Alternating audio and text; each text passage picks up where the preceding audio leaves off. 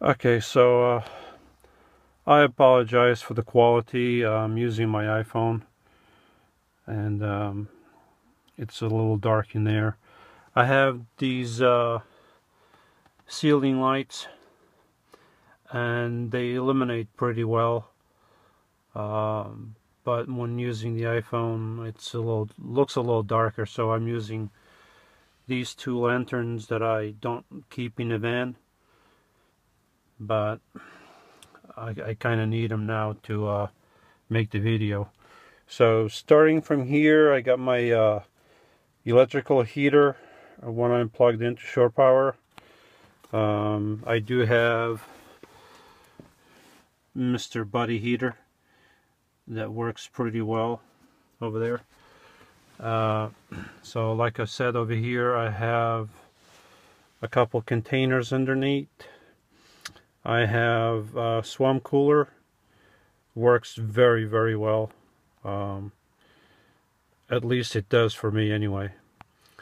Uh, that's my desk. Uh, I actually haven't used it as a desk yet. So far it's only been a, a storage place.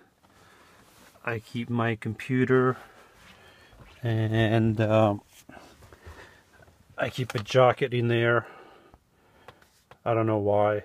I don't need that jacket. But I have uh,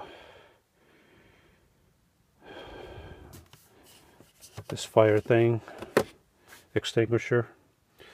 I got some of my books up there.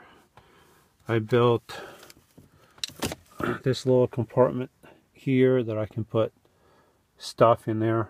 Mainly I just wanted to make it a clean look and um, block the uh, the metal there from the van and the wire and all that. So this way it um, blocks that. I don't have to see it and uh, I have a little compartment and it closes just with those uh, hinges. They're self self closing so I don't have to uh, have anything else there.